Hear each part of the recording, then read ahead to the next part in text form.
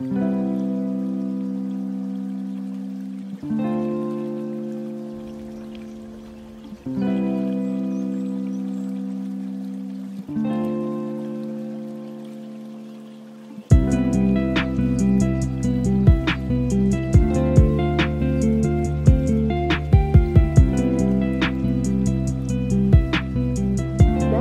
стала последний экзамен, я стала последний экзамен.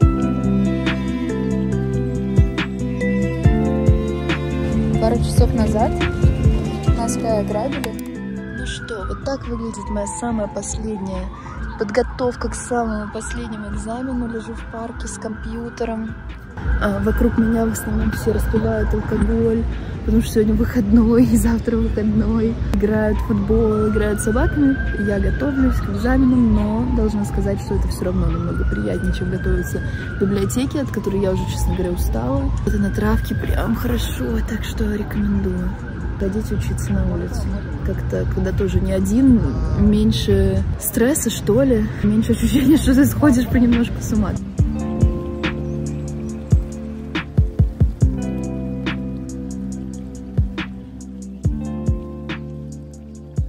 Здесь такой закат. А здесь тусовка на лодке.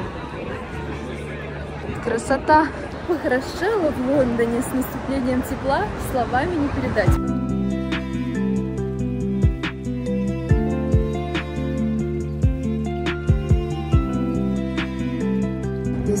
Поняла, что, мне кажется, ни за какой период своей жизни я не ела и не брала так много еды на вынос, не заказывала его бериться, как за месяц этой сессии в Лондоне. Во-первых, сессия оказалась намного сложнее, время затратнее, силы затратнее, чем я думала. И если я не успеваю заранее приготовить еду там на 3-4 дня вперед, то в итоге мне все, что остается, это взять что-то готовое, потому что я учусь до такого момента, очень погружаюсь глубоко в учебу, что пока я уже не ощущаю очень сильный голод, когда я уже не в состоянии просто готовить сама, идти там в магазин и так далее, плюс это занимает время, конечно же, я просто заказываю. В общем, мне кажется, я уже в районе своего дома просто все перепробовала. Ну вот, выглядит, конечно, очень аппетитно. Обошлось 14 евро.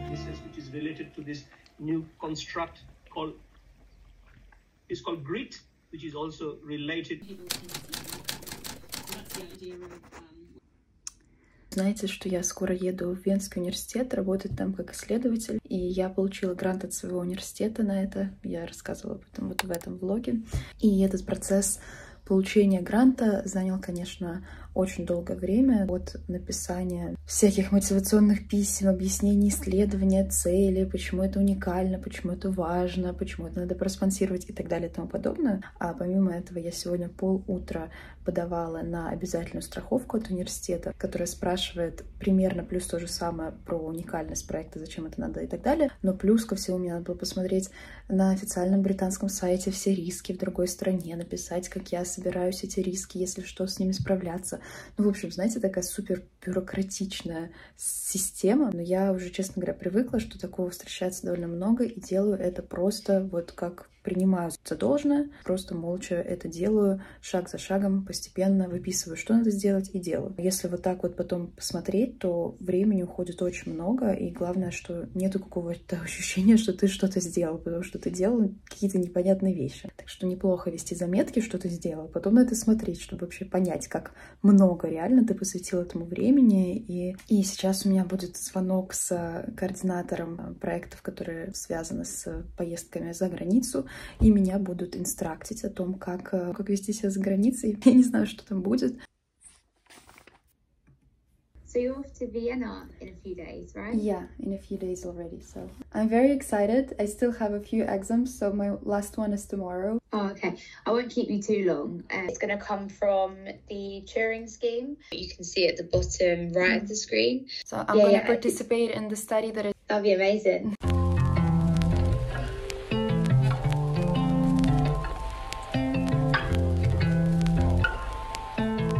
Что, ребят, я иду на свой самый последний экзамен. Мне кажется, это экзамен, перед которым я больше всего нервничаю, потому что он устный. Соответственно, если тебе нечего сказать, то будет тупая ситуация, намного тупее, чем просто а, оставить белый лист если бы надо было писать. В общем, я подготовлена в меру, не слишком. Могла бы подготовиться намного лучше, но опять же могла бы. В каком плане могла бы? Я стараюсь считать, что я делаю все по мере своих возможностей. У меня очень много всего в жизни происходит, периодически надо отдохнуть, и периодически надо поработать, поучиться. В общем, всегда перед экзаменом кажется, что, блин, вот что я делала все это время? Почему я не подготавливалась дольше? Почему там в субботу я посмотрела лишнюю серию вместо того, чтобы посмотреть лекцию? Но все так, как должно быть. Я даже так уже думаю, что если я вдруг не сдам этот экзамен, я теоретически даже буду рада его пересдать, потому что мне надо будет заново весь этот материал пройти, просмотреть, а он такой интересный, я, конечно же, не успела все а, переварить, и как бы даже будет здорово переварить это все еще раз. Как бы то ни было, я готова. Это был мой лучший экзамен. Я в шоке. Это моя самая высокая оценка. У меня еще не было высшей оценки за всю мою магистратуру. Что? Я думала, бы последний экзамен. Я просто в шоке. У меня просто нет слов. Я опоздала на 20 минут. Я впервые опоздала на экзамен. Все автобусы просто стояли. Я, видимо, ни разу не ездила в это время в университет в 4 часа вечера. Я не рассчитала, что может быть такой сильный трафик. И автобусы просто стояли и не ехали. И в какой-то момент я вышла из автобуса, взяла велосипед. Я мчала на велосипеде. Пришла такая в пиджаке, еще на велосипеде ехала. Экзамен был устный, нам надо было подготовить ответы на 25 вопросов. И четыре вопроса нам давали случайно, надо было по 5-6 минут говорить о каждом, цитировать исследования, объяснять исследования. На каждый вопрос я, наверное, часа 4 потратила просто на подготовку минимум. Это с учетом, что я была на лекциях. И я просто не успела подготовить ответы на последние три, поэтому я просто уже шла с надеждой, что мне не выпадут те вопросы, на которых я плохо могла ответить. И, ребята, мне выпали все вопросы, на которые я могла ответить. И я очень круто на них ответила. И мне еще ни разу не ставили такие высокие оценки. Просто в шоке. Я очень счастлива. Это мой последний экзамен. Могу поверить, что я сдала. Что я все закончила, что мне осталась только диссертация и исследовательская работа. Боже, это было просто, это было нечто. Это был не месяц, это было нечто. Помимо того, что у меня было столько экзаменов, у меня было столько работы. В моем блоге выходило очень много рекламы. У меня выходило очень много видео. Мне вот, знаете, иногда пишут друзья, знакомые, подписчики, что, мол, Аля, как ты успеваешь?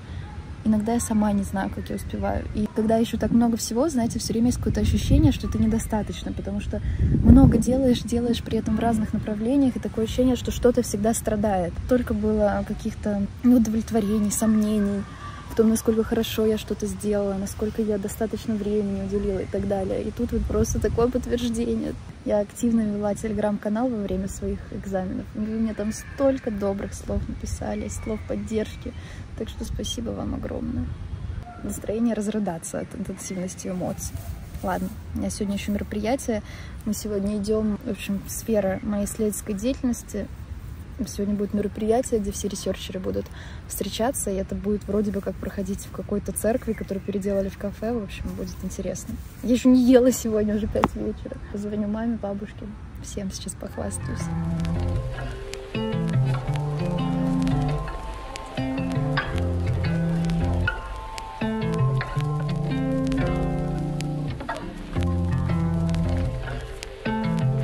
Впервые в Лондоне на самокате. Кто помнит, в Париже это был мой любимый вид транспорта, а здесь еще ни разу не ездила.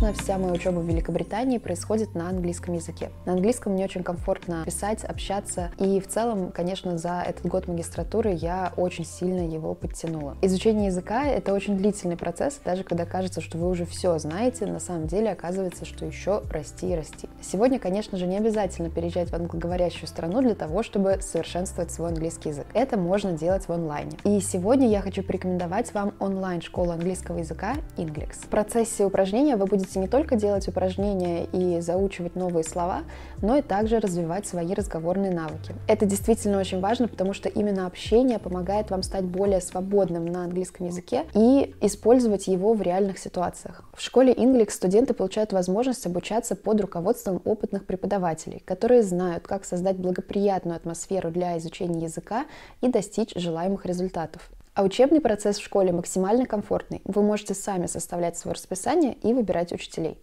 У школы есть своя платформа для занятий, а также свое приложение, в котором ученики могут выполнять домашние задания. У моих зрителей есть возможность пройти первый урок бесплатно, познакомиться с преподавателем и построить персональный план обучения.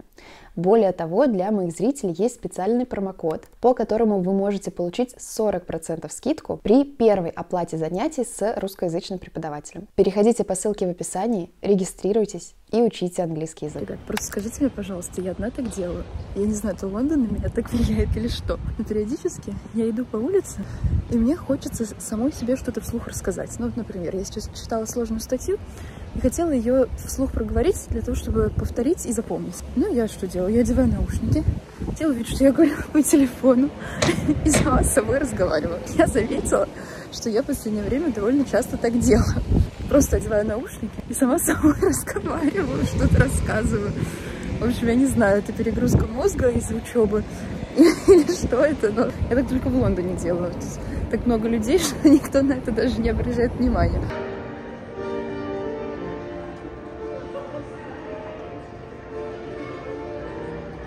Я сегодня впервые зашла в торговый центр, который сделали в Battersea Power Station. Это была Power Station, как это? Внутри очень классно сделали. Мне, конечно, безумно нравится, когда в старые здания интегрируют какие-то новые архитектурные задумки. Выглядит очень здорово. Вот смотрите, то есть здесь вот все магазины, одна башня, вот, соответственно, вот там вот вдалеке.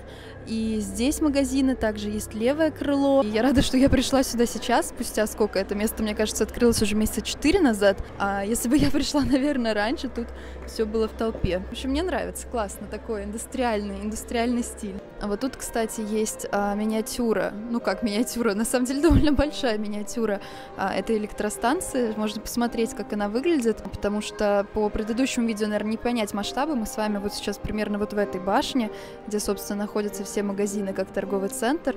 Но если вы посмотрите, то по бокам вот здесь вот, вот это все рестораны и квартиры, то есть вот стеклянная пристройка это квартиры все, соответственно, там, я думаю, пентхаусы, видите, с частными террасами.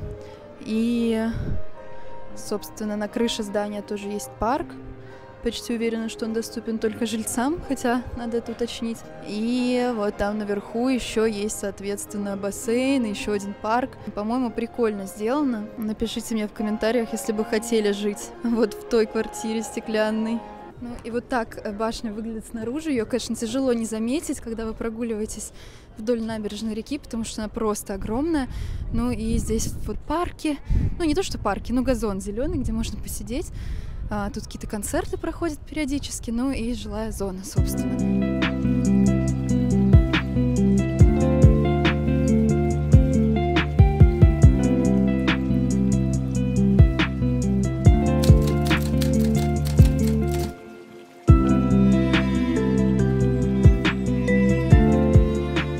наступлением тепла стало в Лондоне ездить на великах Сантандер. Такие полугосударственные велики. Должна сказать, что здесь это очень классно все сделано. В Париже тоже, но в Париже, например, если вы снимаете велик с иностранной картой, то у вас там блокируется депозит и так далее. А здесь все очень удобно, просто, в общем, как-то как, -то, здесь э, мне это больше нравится сделать, чем было в Париже. Да, один раз пожил в Париже, всю жизнь потом все с ним сравниваешь.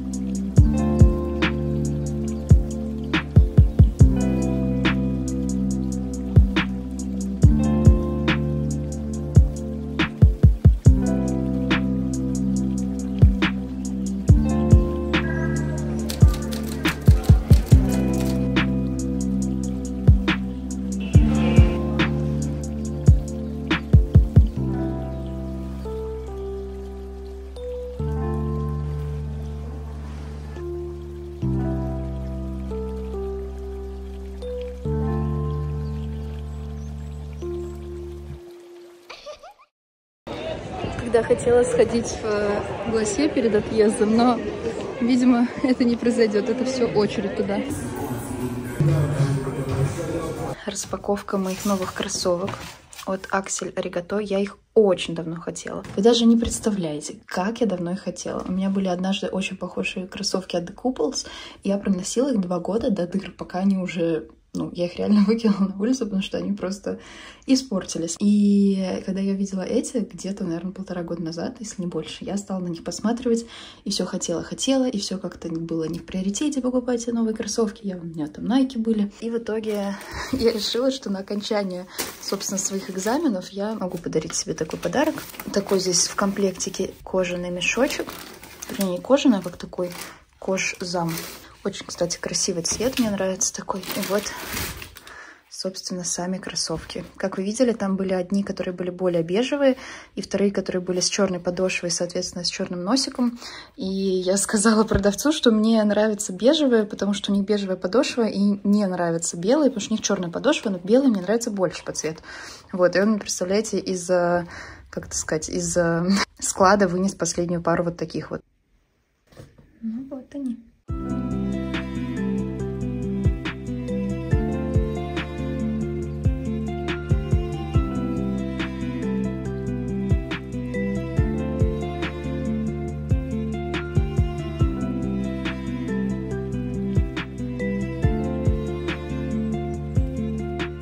Сейчас последний раз сегодня вижу со своими подругами перед отъездом.